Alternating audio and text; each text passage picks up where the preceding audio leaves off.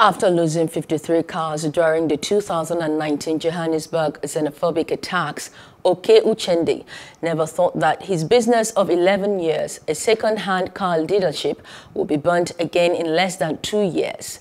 On Sunday, he received a call at midnight that his store was engulfed in flames as looting and violence, the worst in South Africa for years, escalated, wrecking hundreds of businesses already buckling under the pressure of the COVID-19 pandemic and high unemployment, SMMEs like Uchendu's are the hardest hit businesses that may not recover from the unrest and risk, adding to the already high unemployment rate.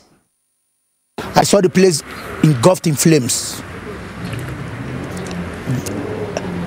I feel like committing suicide because my livelihood is being taken away from me in my eyes.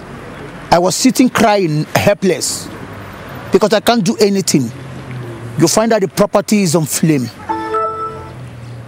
Like, if you look around you the way I said, there's an Evoque worth 220,000 for a client. It's gone.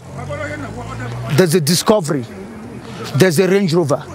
There's a Golf 7 now the month is coming to an end. I still need to pay my rent. I got three kids I need to take care of. How will I take care of my kids? The one way that summarizes the impact is catastrophic. Uh, because even before the pandemic started and the current mayhem started, SMEs were already undergoing uh, some deep, long standing uh, conditions. Hello. Hope you enjoyed the news. Please do subscribe to our YouTube channel and don't forget to hit the notification button so you get notified about fresh news updates.